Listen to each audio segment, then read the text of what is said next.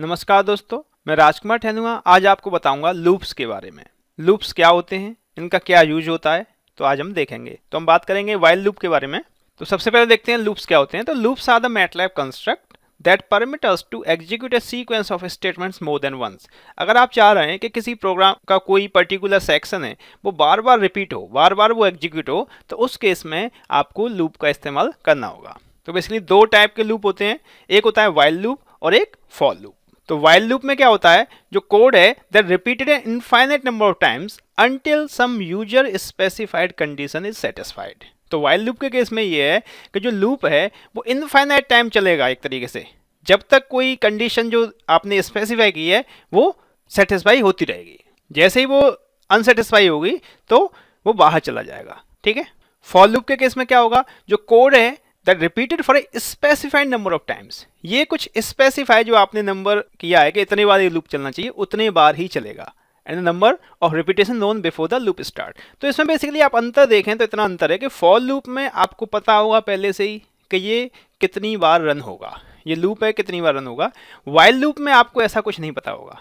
Wild loop में आपने एक कंडीशन दी होगी, जब वो कंडीशन सेटिस्फाई नहीं हो रही होगी, वो उसी केस में लूप चलना बंद होगा। जब तक कंडीशन सेटिस्फाई होती रहेगी, ये लूप चलता रहेगा वाइल्ड लूप है जो। क्लियर दोनों में डिफरेंस तो हम पहले बात करते हैं वाइल्ड लूप के बारे में।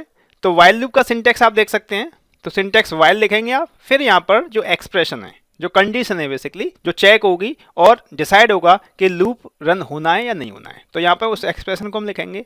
जब ये कंडीशन सेटिस्फाई अगर हो जाती है तो यहाँ पर जो आपने स्टेटमेंट्स लिखे होंगे, वो एग्जीक्यूट होंगे और फाइनली आपको एंड करना होगा। ठीक है?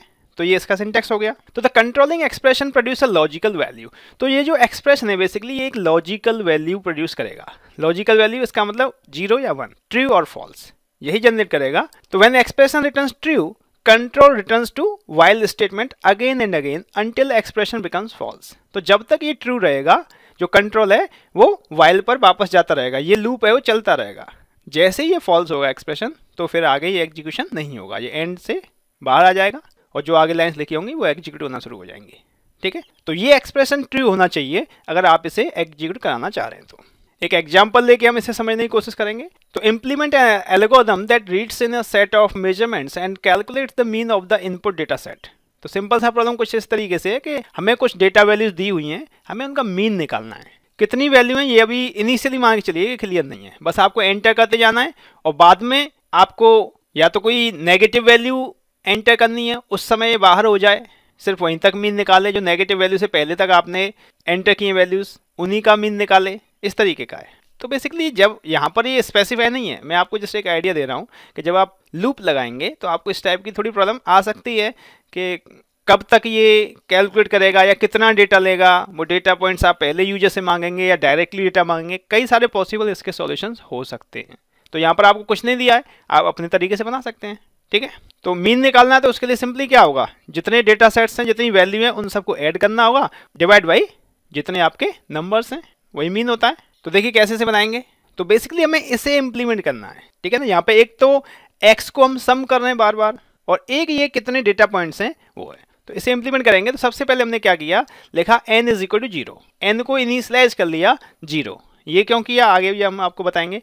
और सम एक्स ये समेशन बेसिकली है, उसे हमने sum X is equal to zero ये दो वेरिएबल हमने इनिशियलाइज कर लिए। फिर हमने लिखा X is equal to input enter the first value तो जो वैल्यू यूज़र एंटर करेगा, वो एक्स के अंदर चली जाएगी। क्लियर है? पहली वैल्यू एक्स के अंदर चली जाएगी। उसके बाद क्या किया? हमने वाइल लूप लगा दिया कि while X is greater than equal to zero जो यहाँ पर जो वैल्यू आई है यूज़र ने एंटर की है, वो ज़ीरो या ज़ीरो से अधिक होती है तो क्या होगा? ये रन होगा। अगर ये कंडीशन ट्रू होगी तो, तो इसे रन होने पर क्या किया जाए? Sum X is equal to sum X plus X ये हो जाए। तो देखिए अगर यहाँ पर मैं डायरेक्टली इस समय सम एक्स यूज़ करता और इसे यहाँ पर इनिशियलाइज नहीं करता तो ये अनडिफाइंड हो जाता कि नहीं? एरर आ जाता प्रोग्राम में। इस वजह से इनिशियली इसकी वैल्यू हमने लिख दी ज़ीरो तो यहाँ पे ज़ीरो हो गया। ज़ीरो प्लस जो अभी वैल्यू आई है एक्स की वो और वो किसमें स्टोर करा दिया? सम एक्स के ही अंदर स्टोर करा दिया। उसके बाद आपने किया N is equal to N plus one देखिए, फिर अगेन एन यहाँ पे यूज़ किया है तो एन अगर यहाँ ज़ीरो नहीं लिखता तो ये भी अनडिफाइंड हो जाता। तो ये ज़ीरो ज़ीरो प्लस वन मतलब एन वन हो गया।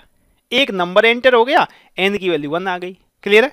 उसके बाद फिर आपने लिखा, x is equal to input enter next value फिर आपने यूज़र से दूसरी वैल्यू मांग ली और उसे भी एक्स में स्टोर करा दिया। इसका मतलब ये हुआ कि जो आपने एक्स की पहली वैल्यू जो एंटर की थी, वो अपडेट हो जाएगी। वो ओवर हो जाएगी दूसरी वैल्यू से। कि अब क्या वैल्यू आप एंटर करना है। जो वैल्यू आपने एंटर की, उस एक्स को लेके फिर ये इस कंडीशन को चेक करेगा। ठीक है? उसे लेके, क्योंकि नेक्स्ट हमने एंड का दिया है तो एंड के बाद नहीं जाएगा, पहले वापस जाएगा कंट्रोल यहाँ पर, फिर चेक करेगा कि जो एक्स आपने एंटर किया है, क्या वो ज़ीरो के बराबर या उससे ज़्यादा है? अगर है तो फिर नीचे आ जाएगा। फिर क्या होगा? जो सम एक्स में क्या होगा? जो सम एक्स पुराना था, जो पुरानी वैल्यू आई थी, वो प्लस नई वैल्यू एक्स वो हो जाएगी। दो वैल्यू ऐड हो गई, और यहाँ एन इज़ टू क्या होगा एन प्लस वन एन तो पहले वन था तो वन प्लस वन क्या होगा टू तो अब दो वैल्यू और एन की वैल्यू टू हो गई। हो गया कि नहीं? फिर एक्स इक्वल टू फिर दोबारा आपने वही चीज़ मांग ली कि अगली वैल्यू दीजिए। ठीक है ना? सपोज़ इस समय आपने एक्स इज़ इक्वल टू कर दिया माइनस वन तो माइनस वन सपोज़ किया तो कंट्रोल यहाँ पर जाएगा चेक करेगा X is greater than equal to zero नहीं माइनस वन है। तो वो इससे बाहर आ जाएगा। ठीक है? बाहर आ गया। उसके बाद क्या करना है? मीन एक्स आपको मीन निकालना था एक्स का तो is equal to sum X sum X में जो वैल्यू थी वो आ जाएगी अपॉन एन में जो वैल्यू है। तो दो नंबर आपने एंटर किए थे और एन की वैल्यू टू हो गई थी। तो दोनों नंबर का सम तो सम एक्स में स्टोर हो गया अपॉन एन हो गया। ठीक है? इसे आपको प्रिंट करा लेना है फिर।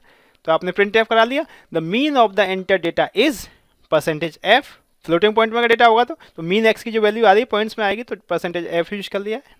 अगर इंटीजर आप लेके चल रहे हैं तो परसेंटेज डी भी यूज़ कर सकते हैं। और यहाँ पे न्यू लाइन ऑपरेटर लगा दिया जिससे कि कंट्रोल है वो नेक्स्ट लाइन में चला जाए। कर्सर है, वो आपका नेक्स्ट लाइन में आ जाएगा। क्लियर है? तो इसे रन करके भी देख लेते हैं। तो देखिए, यहाँ पर मैंने प्रोग्राम को लिख लिया एक फ़ाइल में, जिसका नाम है लू प्रॉब्लम वन ठीक है? इसमें हम ले गया सी एल सी तो जिससे कि हमारे जो आउटपुट वो टॉप पर आए। बाकी क्लियर आप जानते हैं वर्क स्पेस क्लियर हो जाए। एन इज़ टू ज़ीरो लिखा सम एक्स हो गया। एक्स में इनपुट ले लिया फ़र्स्ट वैल्यू बाकी वही सारी चीज़ लिखी है। अब इसे रन करके देखते हैं। एंटर फ़र्स्ट वैल्यू तो एंटर फ़र्स्ट वैल्यू आपने सपोज़ टेन किया। फिर तो देखिए, अब पूछा है enter next value next value आपने एंटर की तो नेक्स्ट वैल्यू सपोज़ आपने ट्वेंटी की। फिर पूछा है एंटर नेक्स्ट वैल्यू फिर मैंने माइनस वन कर दिया। यही तो हमने कहा था कि दो वैल्यू हमने एंटर की और फिर तीसरी वैल्यू नेगेटिव हमने कर दी। तो क्या होगा? एंटर देखिए मीन आ गया फिफ्टीन आ गया, ठीक है? तो यहाँ आपको एग्जीक्यूटिव होते हुए प्रोग्राम नहीं दिखा किस तरीके से हो रहा है, वो बैक एंड में हो रहा है, लेकिन कंसेप्ट इसी तरीके से है। तो फिफ्टीन आ गया एवरेज अब यहाँ आप देख सकते हैं, जो x की जो लेटेस्ट वैल्यू होगी वो बाद में आई है, जो माइनस वन आई है, वो आपको यहाँ पे दिख रही है वर्क स्पेस में। बाकी सम x क्या है थर्टी हो रहा है, दोनों का सम जो हुआ है मीन आप देख रहे हैं फिफ्टीन और एन की वैल्यू टू क्लियर कि दो वाल लूप चलाए आई थिंक आपको वाइल लूप क्लियर होगा। वाइल लूप से आप कोई भी प्रॉब्लम कर सकते हैं। फिर भी अगर आपको कोई दिक्कत है तो आप मेरे को मेल कर सकते हैं और मैं मेल आई डी मेट ले बाई आके टी आई होप आपने इस लेक्चर को एन्जॉय किया होगा। अगर ये लेक्चर आपको अच्छा लगा हो तो इसे लाइक करें और शेयर करें। Thank you